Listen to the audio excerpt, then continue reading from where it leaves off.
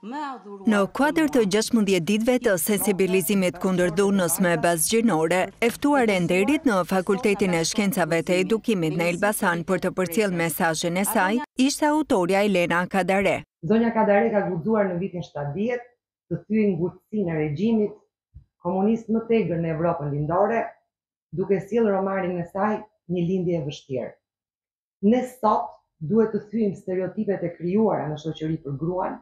Përballë një auditori me studentë, psikologë, punonjësi social dhe aktorë, zonja Kadare me forcën e fjalës përçoi mesazhin e saj se një botë që respekton gjininë femërore është më pranë perfeksionizmit. Kjo është një plagë shumë e hershme dhe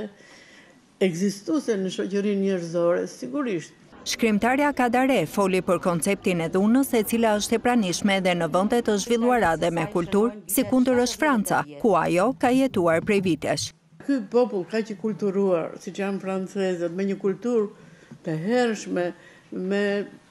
atë jetë artistike kaq të pasur, habitesh kur shikon nëpër lajme që janë Të njëjtat, të njëjtat gjëra dhe kulmi është pastaj kur në një në një nga revistat franceze lexoja te El që është për femra që vendi që burrat janë më të